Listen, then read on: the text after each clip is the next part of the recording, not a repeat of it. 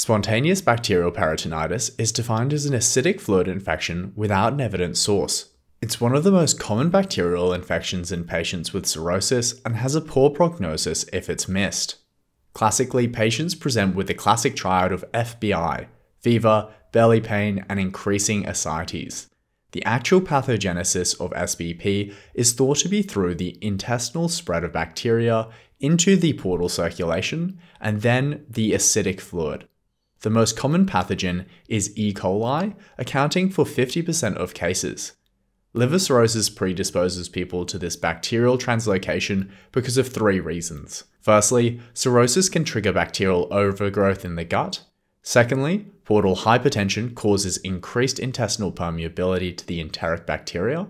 Finally, cirrhosis causes an acquired immune deficiency as it reduces the production of proteins in the complement system. Key risk factors for SBP include varices, advanced cirrhosis, a prior episode of SBP, malnutrition, and the use of proton pump inhibitors. The main clinical features of spontaneous bacterial peritonitis includes abdominal pain, fever, diarrhea, and features of decompensated cirrhosis. Diffuse abdominal pain is the hallmark of SBP, unlike the classic presentation of secondary peritonitis from something like a perforation, which results in a rigid abdomen, the pain in SBP is more diffuse and subtle. Fever is the most common clinical manifestation of SBP, as people with advanced cirrhosis are usually slightly hypothermic, any increase in temperature should really be taken seriously. Diarrhea is thought to be caused by bacterial overgrowth associated with cirrhosis. It's important to note that this might actually herald the onset of ascitic fluid infection. Other clinical manifestations associated with decompensated cirrhosis are plentiful, but consider the following A to D features altered mental state from hepatic encephalopathy, bleeding from anorectal or esophageal varices, color change from jaundice, and distension from the ascites. For the investigation of SBP, consider a structured approach, including bedside tests, bloods, and imaging. Point of care tests might help you rule out other sources of infection, like a urine dipstick, but they might also help you assess how sick the patient is. An ECG, blood glucose level, and venous blood gas are three quick point of care tests to immediately risk stratify the patient. Standard blood tests might include a full blood count to check for neutrophilia and anemia from bleeding varices. UECs will help you identify a kidney injury. LFTs and coag studies are vital as they will help you quantify hepatic decompensation. And finally, blood cultures may assist in identifying the pathogenic organism. Imaging might include an ultrasound and a CT abdomen. The ultrasound is the definitive test for the detection of ascites. Sonography can help determine the adequacy of fluid for paracentesis and can help you localize the procedure too. A CT abdomen should only really be considered if you have findings suggestive of secondary peritonitis, which is caused by a surgically treatable intra-abdominal source.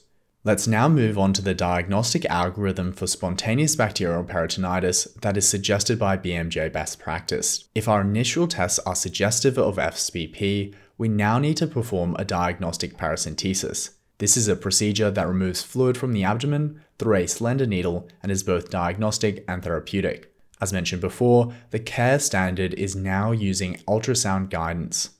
With this specimen, we should send it for cell culture and cell counts. This is the most important part. If the total white cell count is more than 0.5 or the neutrophil count is more than 250 cells per cubic millimeter, this is diagnostic of spontaneous bacterial peritonitis and should prompt immediate management. While bacteria are rarely detected on gram stain, a polymicrobial growth from the peritoneal fluid is actually highly indicative of secondary peritonitis. You should also always examine the sample appearance as subjective descriptions of the fluid being hazy or cloudy indicate SBP with a relatively high sensitivity. One key concept to get your head around is a SAAG score. Usually a SAAG score, or a serum ascites albumin gradient, should be considered for a first episode of ascites. This is simply the difference between the serum albumin concentration and the ascites albumin concentration. A high SAAG score above 11 grams per litre means there is a large difference between the two. This occurs when the hydrostatic pressure in the blood is high due to portal hypertension from cirrhosis and from heart failure. A low SAAG score means the albumin level in the blood and the ascites is similar. This occurs in malignancy and secondary peritonitis. The management of SBP should include acute treatment and prevention. In the acute setting, consider early resuscitation with fluids, empiric antibiotic use, and management of other complications of cirrhosis. Fluid resuscitation is important, especially if the patient has features of sepsis. You should also consider intravenous albumin at 20%.